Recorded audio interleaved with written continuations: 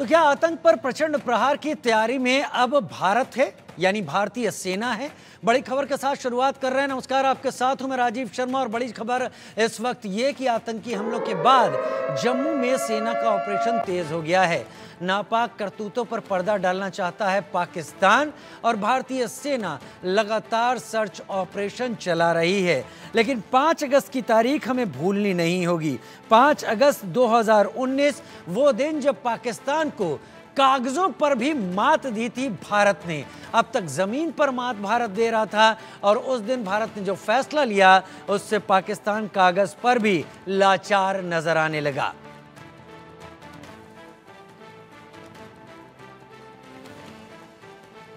तो आतंकी हमलों के बाद नापाक करतूतों पर पर्दा डालने की कोशिश में है पाकिस्तान। भारतीय सेना लगातार अब सर्च ऑपरेशन चला रही है। यह सर्च ऑपरेशन एक बड़े इलाके में चल रहा है। एलओसी का पूरा हिस्सा अगर देखा जाए तो 740 किलोमीटर या साढ़े सात किलोमीटर का करीब ये एरिया है। और इसमें जम्मू का रीजन अगर माना जाए तो कठुआ से लेकर पुंछ तक का इलाका जम्मू रीजन का माना जा सकता है। और इस पूरे रीजन में ही पाकिस्तान अब उन हरकतों को करने की कोशिश कर रहा है जिससे वो दुनिया में एक तस्वीर, एक मैसेज दे सके, जिसके ज़रिए वो ये बता सके कि यहाँ पर तो हालात अब भी ख़राब हैं और भारत के इस हिस्से में लोग दरअसल भारत की, भारत का विद्रोह कर रहे हैं। ऐसा पाकिस्तान कहने की और स्थापित करने की कोशिश में लगा हुआ है। लेकिन भारतीय सेना और भारत सरकार तस्वीर को जो बदल चुकी है, दरअसल पाकिस्तान की परेशानी यही है कि उसने उन्नीस सौ नवासी में जब कश्मीरी पंडितों का नरसंहार करवाया गया, उसके बाद से अब तक पाकिस्तान ने जो तस्वीर बनाने की कोशिश की, जिसमें कहीं बहुत भारतीय सरकार प्रभावी तरीके से चीज़ों को सामने रख पाई या नहीं रख पाई, उसके बाद पाकिस्तान हावी होता दिखा, लेकिन अब पिछले दस सालों में भारतीय सेना ने हालात को बदल कर रख दिया है। मेरे साथ मेरे खास मेहमान इस वक्त जुड़ रहे हैं। मेजर जनरल जे के बंसल रिटायर्ड डिफेंस एक्सपर्ट के तौर पर मेरे साथ जुड़ रहे हैं। बहुत स्वागत है आपका मेजर जनरल जे के बंसल और मेरे major general retired Sudhakar ji मेरे साथ रक्षा विशेषज्ञ के तौर पर इस वक्त जुड़ रहे हैं।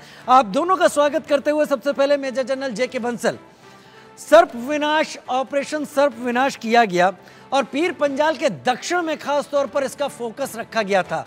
क्यों रखा गया था? इसका जवाब आप दे पाए तो बहुत बेहतर। नहीं भी देंगे तो मेरा मुद्दा ये नहीं है कि रखा क्यों गया था, लेकिन क्या आज के हालात इस बात का इशारा करते हैं कि सर्प विनाश टू की ज़रूरत अब आतंकवादियों को आ पड़ी है? मेरा कहने का मतलब ये, उसी तरीके से उनका समूल विनाश करने की तैयारी इसी के ज़रिए? बिल्कुल, समुचित विनाश करने की तैयारी तो बहुत जोरों से हो रही है। आपने देखा होगा कि पहले दो बटालियन बीएसएफ की शिफ्ट किया था उड़ीसा से। तीन तीन हज़ार जो है, वहाँ पर आर्मी को मोबिलाइज किया था, पाँच सौ कमांडो थे और डॉग स्क्वाड सबको वहाँ पर मोबिलाइज करके अभी रिसेंटली दो राय जो आसाम राइफल की दो बटालियन जो हैं, अभी मणिपुर से मोबिलाइज हो रही हैं और बहुत ही युद्ध स्तर पर ये हो रहा है जितने आतंकवादी घुसे हैं, उनका सफाया कर देना ज़रूरी है। तो वो हो जाएगा। लेकिन इसके साथ साथ बहुत इम्पोर्टेंट ये है कि हमको पीछे से सबक भी सीखना चाहिए कि जैसे हमने विड्रॉ किया था यहाँ से, जैसे टू थाउज़ेंड ट्वेंटी में हमने लद्दाख में फौज मोबिलाइज की तो यह गतिविधि बढ़ गई थी तो इस बार ऐसा नहीं करना है। अगर ये सात हज़ार जो हमारी फौजें हैं सिक्योरिटी फोर्सेज यहाँ आई हैं, इनको यहीं पर रखना है। और दूसरी बहुत बड़ी बात यह भी है कि जहाँ से इनको मोबिलाइज किया है, वहाँ पर भी हमको देखना है कि ज़रूरत है तो उनकी नई भर्ती करके वहाँ पर देना, ये नहीं कि हम फायर फाइटिंग करते नहीं इधर से उधर उधर से उधर करते रहे तो ये एक गवर्नमेंट ऑफ़ इंडिया को उच्च स्तर पर एक असेसमेंट करना पड़ेगा कि हमको कितनी फौजों की, कितनी ट्रुप्स की ज़रूरत है, उतनी उसी हिसाब से ट्रुप्स को भर्ती करके उनको परमानेंट लोकेशन पर रखना ज़रूरी है।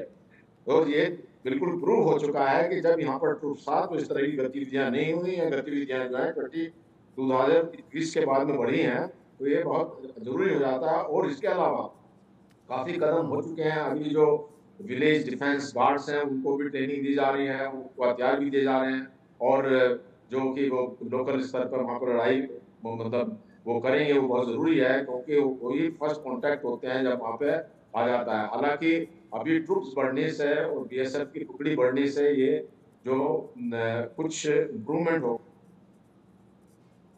की भी ज़रूरत है कि जिससे वो उस एरिया में अच्छे से विज़िट कर सकें तो आधुनिक इंस्ट्रूमेंट्स जो होते हैं, उनसे विज़िट अच्छे तरह से रखा जाता है। तो इन सब चीज़ों को ध्यान में रखते हुए ये अब जो इस बार अगर इनको सफाया करने के बाद में और अगर आवश्यकता पड़े तो सर्जिकल स्ट्राइक जैसे कि पता चला है कि वहाँ पे लॉन्च पैड्स हैं और उनका एक आतंकवादी के भेस में उनका लेफ्टिनेंट कर्नल आदिल भी यहाँ पे आ चुका है, जो कोऑर्डिनेट कर रहा है, उनका एक मेजर जनरल वहाँ पे एसएसजी ग्रुप का जो कोऑर्डिनेट कर रहा है इन चीज़ों को तो इनको देखते हुए मुजफ्फराबाद के अंदर में कितने सारे कैंप चल रहे हैं तो वो भी उनको नस्ल नामूद करना भी बहुत आवश्यक है। तो ये मल्टी अप्रोच होनी चाहिए देश के अंदर भी और जो बॉर्डर के उस तरफ़ भी इनका सफाया करना, इस समय पाकिस्तान को मैसेज देना बहुत ज़रूरी है। इनकी मंशा ये है कि अभी जो थर्टी सितंबर को जो लास्ट डेट दी हुई है, हमारे यहाँ इलेक्शन जो जम्मू एंड कश्मीर है उसको सफल नहीं होने देना चाहते लेकिन अभी नौ और दस अगस्त को जो इलेक्शन कमीशन वहाँ पे जा रहे हैं और जायजा लेकर के इलेक्शन तो होंगे और इनका सफाया हो जाएगा। और जो पाकिस्तान की जो नापाक हरकतें हैं इरादे ये कामयाब नहीं होंगे। ये कामयाब नहीं होगी और चाहते हम लोग भी यही हैं लेकिन कामयाब नहीं होने के पीछे जो होमवर्क है जो पेपर वर्क है जो चीज़ों को मैप पर समझना और उस हिसाब से अपनी फोर्स को मोबिलाइज करना एक फ़िल्म का बहुत डायलॉग था वो फ़िल्म का डायलॉग था लेकिन हकीकत में मैं ज़्यादा पसंद करता हूँ कि कोई भी जंग शहीद होकर जीती नहीं जाती वो दुश्मन को ख़त्म करके जीती जाती है। यहाँ पर दुश्मन छुपा हुआ है। मेजर जनरल सुधाकर जी मैं समझना चाहूँगा और मेरे दर्शक समझना चाहेंगे। पिछले कुछ दिनों से हम लोग जम्मू कश्मीर को समझने की कोशिश ही कर रहे हैं। आप लोग ज़्यादा बेहतर तरीके से टेरेन को समझते हैं। उन्नीस सौ अट्ठानवे से 2003 के बीच में ये जो ये जो पूरा इलाका है सुरनकोट का, हिलकाका, यहाँ पर करीब डेढ़ स्क्वायर किलोमीटर के एरिया में जो टेररिस्ट थे, लश्कर और जैश के, एक बड़ी नफरी थी जिन्होंने यहाँ पर अपना होल्ड कर लिया था। सात बटालियन दो ब्रिगेड हेडक्वार्टर के ज़रिए इस पूरे ऑपरेशन को ख़त्म चलाने और इनको ख़त्म करने की कोशिश की गई थी। ऑपरेशन ऑपरेशन सर्प विनाश में क्या हुआ? इस दौरान जो कब्जा किया था इन आतंकवादियों ने, क्या आतंकवादी अभी भी सेम प्रोसेस को फॉलो करते हैं? क्या भारतीय सेना अभी भी सेम प्रोसेस को फॉलो करती है उन्हें न्यूट्रलाइज करने के लिए? या over the period of time भारतीय सेना ने बहुत कुछ ऐसा सीखा है कि उनसे चार हाथ आगे रहकर उनके बेसिस तबाह करने की कोशिश करती है। कहाँ तकलीफें आती हैं? क्या ऐसा है जो सबसे ज़्यादा चुनौती भरा है? और क्यों ये आतंकवादी एक बार फिर उन्हीं हाइड आउट्स में अपना एक बार फिर से स्ट्रांग होल्ड कर लेते हैं। सुधाकर जी साहब। राजीव, नमस्कार। अगर ये सवाल, आपकी आवाज़ कट कट का आ रहा है। एनीवे anyway, मेरे को I have understood the sense and the spirit अगर ये सवाल मेरे लिए है जी। इसकी में मैं दो तीन आपके पास टाइम बहुत कम होता है। मैं तो बहुत कुछ कहना चाह रहा हूँ लेकिन मैं चाहूँगा आप कहें। मैंने मैंने जैसे मेजर जनरल जेके बंसल को नहीं रोका वैसे आपको भी नहीं। एट लेंथ कहें सर ओके थैंक यू ये मेरा अंदाज है हो सकता है मैं गलत कह रहा हूँ लेकिन जितना समझ मुझे आता है लेक्चर देते रहता हूँ आर्टिकल्स लिखते रहता हूँ पैनल डिस्कशन में। मामला सीरियस है। अगर प्रॉब्लम को प्रॉब्लम की तरह हम उसको नहीं देखेंगे तो उसका डायग्नोसिस सही नहीं होगा सोल्यूशन भी दिखावा जैसे कॉस्मेटिक होगा। मामला सीरियस है। सीरियस मामले को सीरियस तरीके से लेना निहाती आवश्यक है। जनरल साहब, बंसल साहब ने जो कहे हैं, मैं सौ परसेंट नहीं, दो हज़ार परसेंट, उससे भी ज़्यादा एग्री हूँ। लेकिन मेरा एक प्रस्पेक्टिव है। मैं कोई I do not want to contradict anybody ये मेरा प्रस्पेक्टिव ये मामला सीरियस इसलिए है क्योंकि जो थ्रेट है ये थ्रेट को हिंदुस्तान सही तरीके से पहचाना नहीं है। आपके चैनल में राजीव आप एंकर रह चुके हैं। मैं कोई बार बोल चुका हूँ बांग्लादेश लिबरेशन के बाद 93,000 प्रिजनर ऑफ़ वॉर ये पाकिस्तान को कभी हजम नहीं हुआ।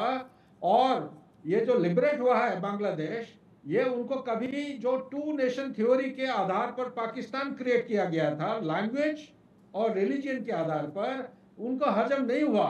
तो तब से ये बड़बड़ करते जा रहे हैं अलग अलग स्तर पे।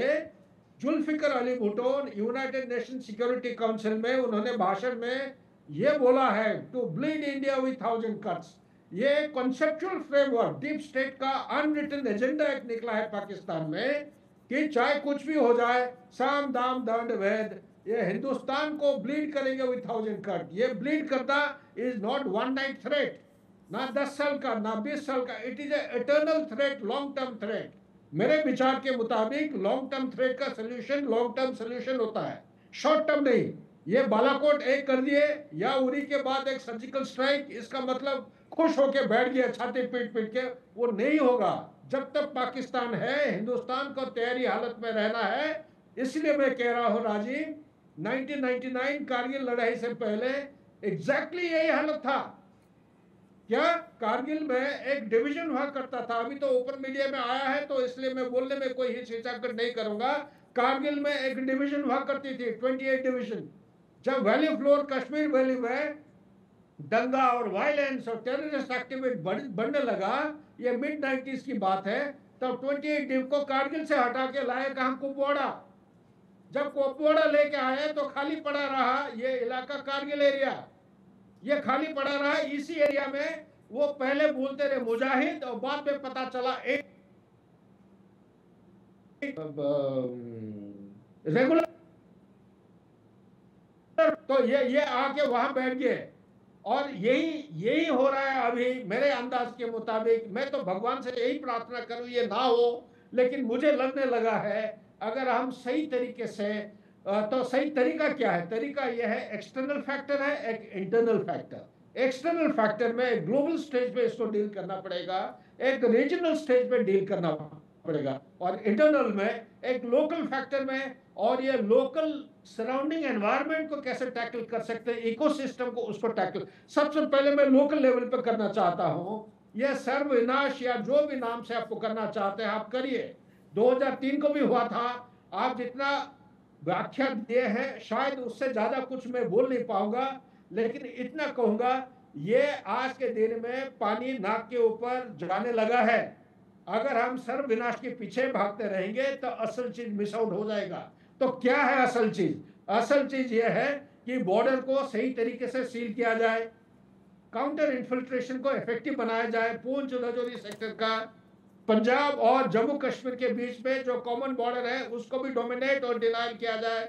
स्पेस जो इस्तेमाल कर रहे हैं आईएसआई जिसके ये ड्रोन के ज़रिए से उनका आ रहा है ड्रग्स आ रहे हैं काउंटरफिट करेंसी आ रही है, हथियार आ रहे हैं, इसके ऊपर भी डोमिनेट करने के लिए एयर डिफेंस हथियार को इस्तेमाल किया जाए इलेक्ट्रोमैग्नेटिक स्पेक्ट्रम को डोमिनेट करने के लिए ईएसएम e ईसीएम e और ईसीसीएम को इस्तेमाल किया जाए।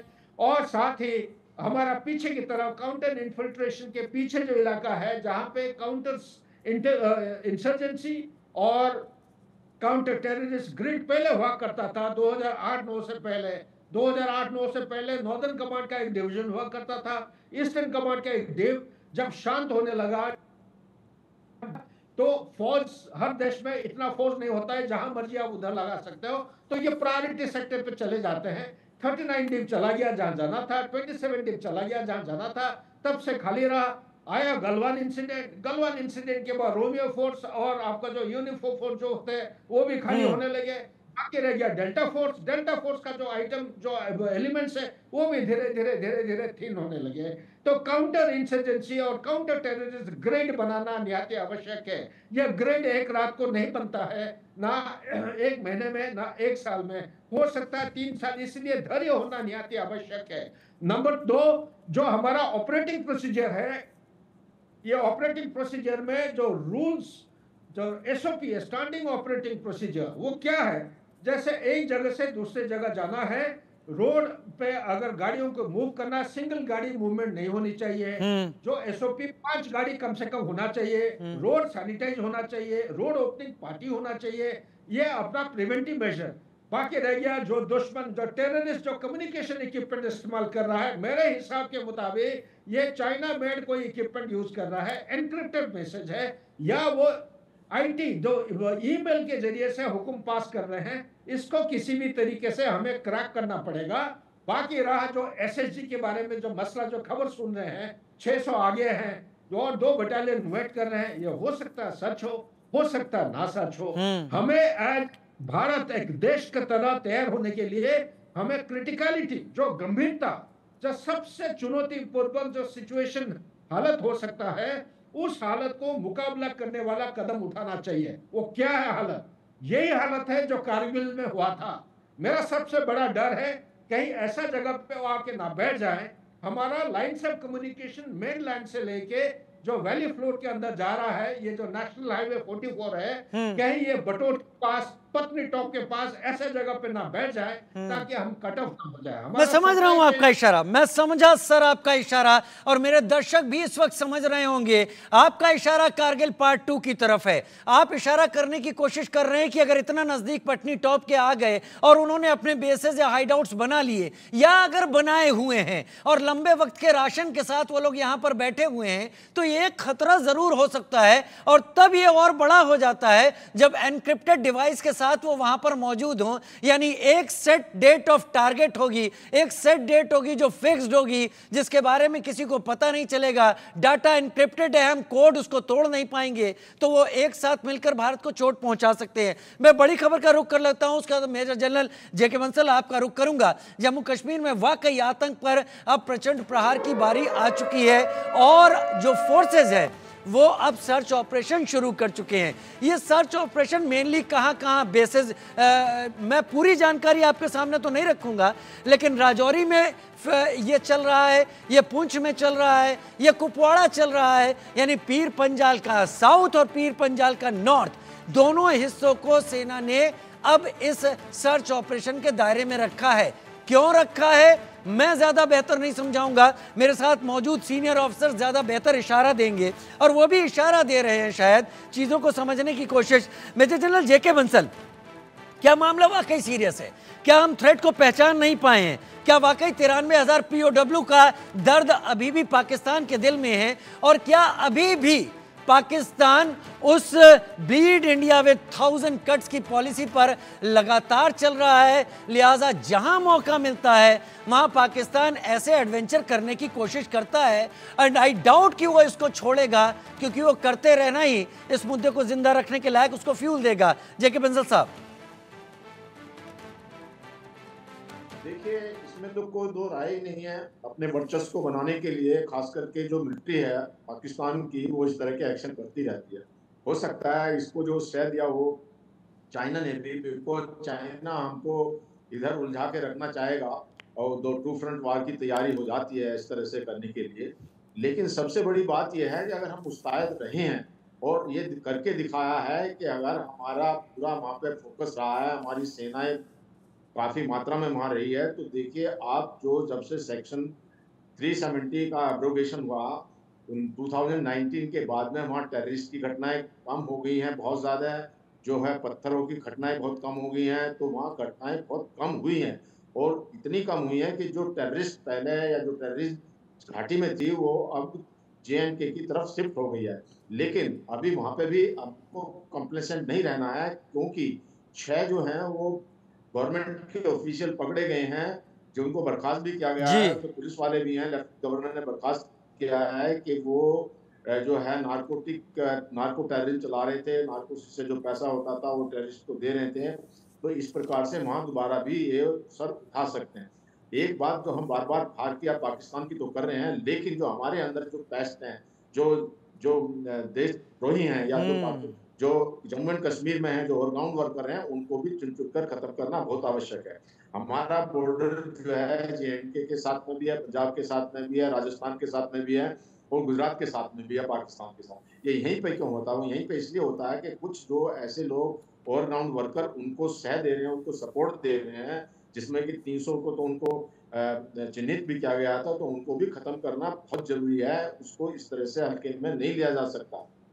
और पाकिस्तान के ये जो यहाँ पर जो जितने भी उन्होंने भेजे हुए हैं, अभी अभी तो ये बताइए आप, हम बात कर रहे हैं खत्म करने की, लेकिन जो रिपोर्ट मिल रही है वो ये थे कि भाई पहले वो चालीस थे अभी अस्सी हो गए। तो इसका मतलब ये है कि अभी और आ रहे हैं तो हम यहाँ पे तो खत्म कर रहे हैं। हमको जो ये सीज फायर वगैरह बंद करके अटैक कर देना चाहिए और जो उनके जो वहाँ पर कैंप है ना, वो जड़ से मिटाने के लिए समय आ गया है कि उनके जो कैंप्स हैं उनको सतत और ये नहीं एक बार करके छोड़ दो जैसे ही वो पैदा होते हैं द वर्ल्ड जो है छोटी सर्जिकल स्ट्राइक या अक्रॉस द रोड हमारी आर्टिलरी हैं जो फायर कर सकती हैं उनके जो कैंप हैं उनको निस्ते नाबूद करना बहुत ज़रूरी है। पाकिस्तान को जब तक चोट नहीं पहुंचाई जाएगी उनको पोस्ट नहीं दी जाएगी तब तक वो इन्फिल्ट्रेटर भेजते रहेंगे और ये एक एक ये जो एक कैंसर बन, बन रहा है कि हम मारते रहेंगे खत्म करते रहेंगे वो आते रहेंगे और वो इतने ट्रेंड हैं खबरें तो यहाँ तक मिली हैं कि जो पाकिस्तान ने इन टेररिस्ट को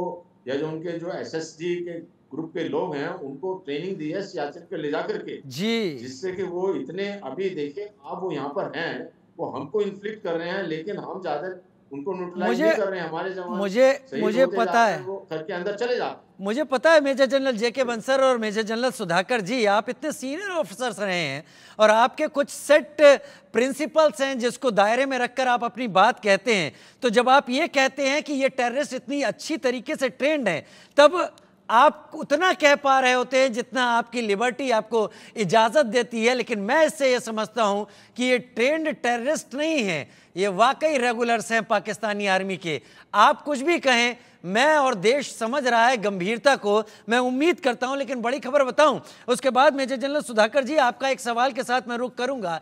जम्मू कश्मीर में बड़े आतंकी हमले का अलर्ट आ चुका है और वो पाकिस्तानी सेना और आईएसआई के ज़रिए है, जैसा कि लगातार बात सामने लेकिन ये अलर्ट इसी महीने में बड़े आतंकी हमले का अलर्ट है। एजेंसीज ने इस हमले का अलर्ट जारी किया है और इसके पीछे आर्टिकल 370 एब्रोगेशन, जिसकी बात पाँच साल पूरे हो रहे हैं, इस पर यह अलर्ट है। पाँच अगस्त 2019 को ये अलर्ट जब हटाया गया था, उसके बाद 5 अगस्त 2024 जो कि कल तारीख है, इस इस इस दिन या इसके आसपास ऐसा कुछ हो सकता है। एक बड़ी तैयारी करनी पड़ रही है सुरक्षा एजेंसियों को। एक ऐसा एसओपी फॉलो करना पड़ रहा है, क्योंकि जो यहाँ पर ये एक्टिविटी करने आया है, वो किसी भी तरीके की घटना को अंजाम दे सकता है। मेजर जनरल सुधाकर जी, आप कह रहे थे यहाँ पर कि ये जो टेररिस्ट हैं, ये जो एक बड़ी नफरी में अलग अलग जगह हाइडआउट बनाकर छिपे हुए हैं, ये जो अटैक कर रहे हैं, ये जो इशारा दे रहे हैं, ये कुछ भी कर रहे हो, क्या मैं ये कह सकता हूँ अगर मैं ज़्यादा बोल रहा हूँ एग्जेजरेट कर रहा हूँ तो आप काट सकते हैं। क्या पाकिस्तान और चाइना मिलकर भारत को इन ट्रेंड लोगों के ज़रिए, अपने एसएसजी या बैट के ज़रिए, आप नाम ना ले, चलेगा। क्या उनके ज़रिए ये भारत की टेरिटरी में आकर टू फ्रंट वॉर की तैयारी कर रहे हैं, जिसमें पीछे पीएलए का सपोर्ट है?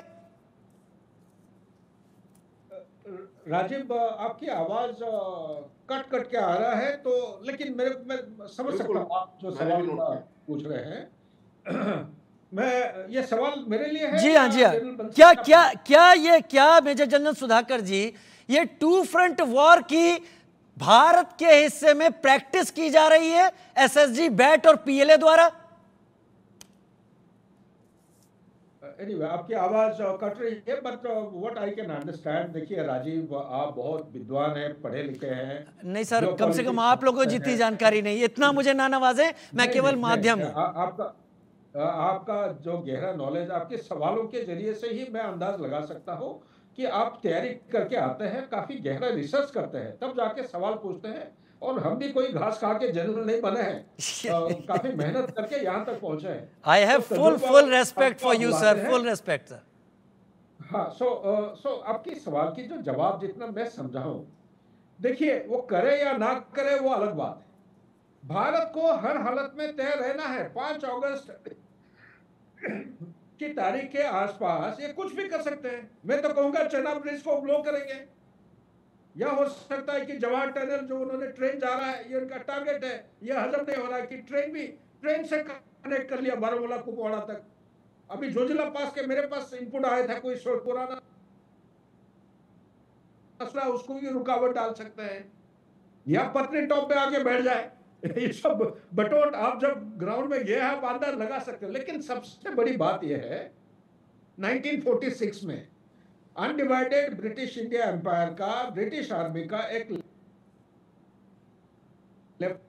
उन्होंने जो एडवाइस दिया था माउंट बेटन साहब को, वो कहा था कि अगर उस समय चर्चा शुरू हो गई थी पार्टीशन मूवमेंट का, और मुस्लिम लीग का वो इलेक्शन हो गया था, ठीक है कि नहीं? उस समय उन्होंने एक सलाह दिया था कि भारत और पाकिस्तान का अगर आप पार्टीशन कर रहे हैं तो आप देख लीजिए, अगर लड़ाई जंग शुरू हो जाती है उनका प्लान था ये हाई लेवल पे। ये जो आए थे ना इन्वेडर्स तो हम्म। थे उन्होंने ये कहा था कि झंगड़ झंगड़ से नीचे भारत की सेना को झंगड़ के नीचे से जो मीरपुर कोटली मुजफ्फरबाद उस तरफ़ जाने मत देना।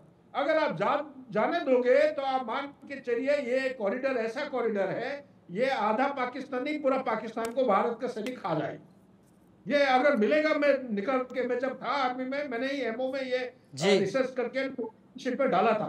मैं कहना क्या चाह रहा हूँ? कहना ये चाह रहा हूँ ये कॉरिडोर ऐसा है खतरनाक ये पूंछ रजौरी कठुआ कठुआ रियासी और क्या डोडा वो नेशनल हाईवे के पूर्व की तरफ़ नौशेरा सुंदरबनी सारा इलाका आप जोड़ रहे हैं। पूरा पूरा सुरनकट भी आता है कंप्लीट हम्म। ये कॉरिडोर है कि ऐसा खतरनाक है पाकिस्तान का मेन थ्रेट बहुत सारे जगह है मेन थ्रेट का।